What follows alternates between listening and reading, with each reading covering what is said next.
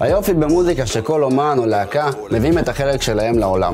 במקרה שלנו, שתי מילים, זו לוד. הרכב ההיפ-הופ הצעיר והעוצמתי שמביא בין היתר את המחאה החברתית לרחובות. כן, מדברים, כן, כן, כן,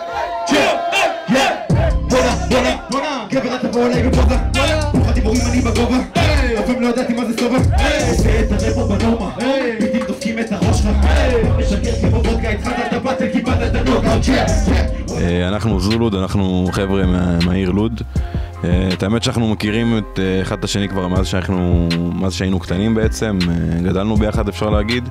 אה, ומה שחיבר בינינו ככה זה היה המוזיקה, כולנו כזה עשינו ראפ והתחלנו לקחת את זה יותר ברצינות ועכשיו אני חושב בשנתיים האחרונות ככה התחלנו להוציא חומרים החוצה לעולם אה, והתחלנו להופיע ולרוץ עם כל, ה, כל מה שאנחנו עושים.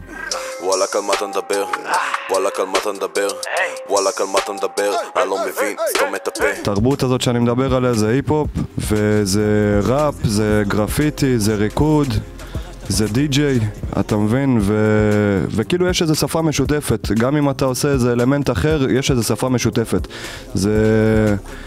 יש כבוד ויש עקרונות כאלה של, אתה יודע, אהבה ולפזר אהבה ולהיות חיובי. ושבאים מישהו ממעגל שהוא חיצוני יותר, נגיד איזה כתב, הוא, ואנחנו באים ומספרים לו את הדברים האלה. כאילו זה לא, זה לא מה שקונה אותו. ויש לו את הפרצוף הזה של וואלה אחי, תשמע, זה לא רייטינג. אתה מגניב, אתה ערבי, אתיופי וזה, איזה מגניב זה כאילו. זה ישר ימשוך אנשים, אתה מבין? אבל לא, אני רוצה שאתה תשמע מה אני כותב, מה, מה אני חווה, אתה מבין? רוצה שתשאל אותי איך היה היום שלי, ו- ולא מה...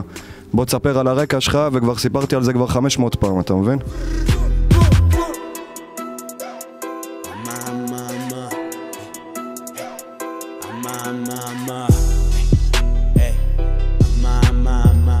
שמע, איך שאני רואה את זה, אחי, אה, מה שאתה עושה כאומן, אחי, זה מניפת. לפרוס כמה שיותר, שיראו כמה שיותר צבעים ממני, אתה מבין?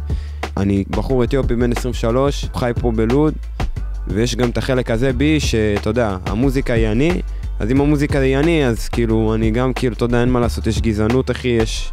אתה, אתה רואה חרא, אתה רואה, עוברים עליך דברים, וזה מוקרן דרכי, אתה מבין? כאילו, כי אני... אני חווה את זה בסופו של דבר, ואני לא יכול להתעלם מזה, וזה בטח גם יישמע במוזיקה שלי, אתה מבין? התמונות האלה מדברות בעד עצמן. שני שוטרים שאמורים להיות סמל לשמירה על הסדר הציבורי, הפעילו אלימות קשה על החייל דמאס פקאדה, שהיה בדרכו הביתה.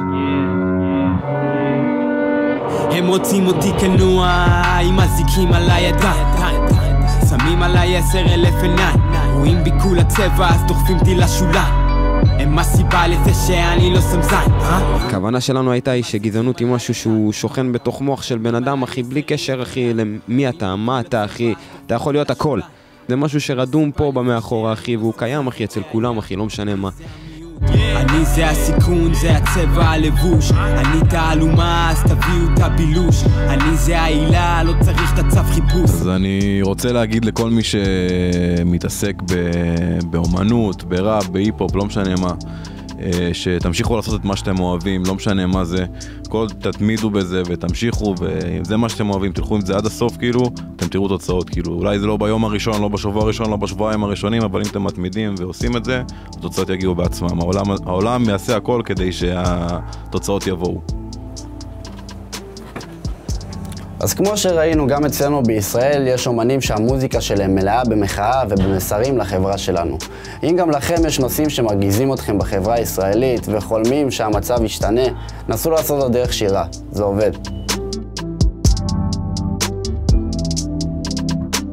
כדי לא לפספס את הכתבות שלנו, הירשמו לערוץ היוטיוב ולחצו על הפעמון.